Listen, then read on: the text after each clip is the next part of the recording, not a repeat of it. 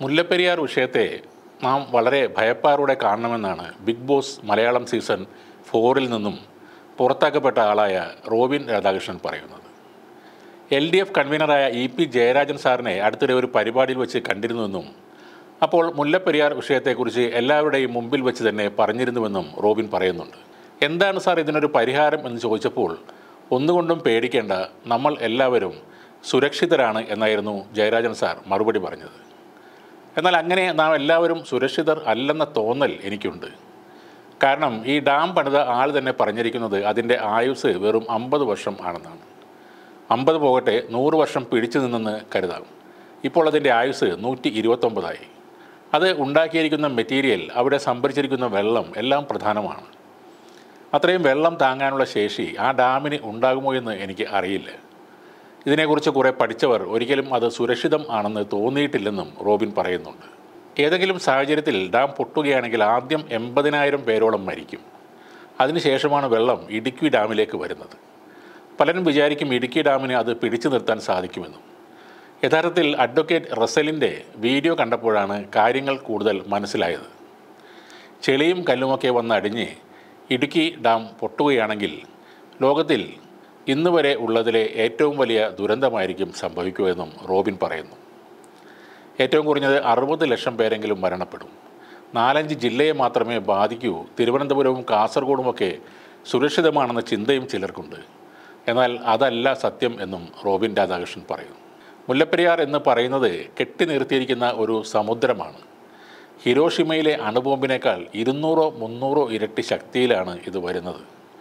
അത്രയും വെള്ളം കടലിലേക്ക് പോകുമ്പോൾ തിരിച്ച് സുനാമിയായി വരും.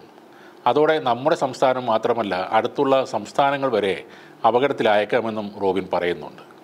അവിടെ എന്തൊക്കെയോ റിപ്പയർ നടത്തുന്നുവെന്ന് പറയുന്നു. അതിന് ഒരു പരിധിയില്ലേ. ഡാമിന് ഒരു വളവ് സംഭവിച്ചിരിക്കുന്നു എന്നുള്ള രീതിയിൽ ഒരു റിപ്പോർട്ട് കണ്ടു. ആ വളവ് ഇനി ഒരിക്കലും നേരെയാകില്ല. വളവ് കൂടിക്കൂടി ഇത് പൊട്ടും. ഇന്നും നാളെയോ പൊട്ടിയില്ലെങ്കിലും എന്തായാലും ഒരു ദിവസം പൊട്ടുമല്ലോ എന്നാണ് റോബിൻ പറയുന്നത്. എങ്ങനെയാണ് ഇതിനൊരു പരിഹാരം എന്നതെന്ന് എനിക്കറിയില്ല. സംസ്ഥാനവും കേന്ദ്രവുമൊക്കെ ഇടപെടുന്നുണ്ട്. എന്നാൽ അത് പോരാ. അന്താരാഷ്ട്ര രംഗത്തുള്ള വിദഗ്ധരുടെ അഭിപ്രായങ്ങൾ തേടണം. നമ്മുടെ പ്രധാനമന്ത്രി നരേന്ദ്രമോദി വിചാരിച്ചാൽ ഏത് രാജ്യത്തെയും വിദഗ്ധരെയും ഇവിടെ മുല്ലപ്പെരിയാറിൽ കൊണ്ടുവരാൻ സാധിക്കുമെന്നും റോബിൻ പറയുന്നുണ്ട്. എന്നാൽ കഴിഞ്ഞ ദിവസം പ്രധാനമന്ത്രി മോദിയുടെ ഏറ്റവും അടുത്ത ആളായ മെട്രോമാൻ ഈ ശ്രീധരൻ പറയുന്നത് മുല്ലപ്പെരിയാർ വിഷയത്തിൽ പുതിയ ഡാം എന്നത് ആവശ്യമില്ലെന്നാണ്. പകരം മുല്ലപ്പെരിയാർ റിസർവോയറിൽ നിന്ന് തമിഴ്നാട്ടിലേക്ക് ഒരു തുരങ്കം നിർമ്മിക്കുകയാണ് വേണ്ടതെന്ന് ശ്രീധരൻ പറയുന്നു. തുരങ്കം നിർമ്മിച്ചാൽ പിന്നെ മുല്ലപ്പെരിയാർ ഭീഷണിയായി ഉണ്ടാവില്ല.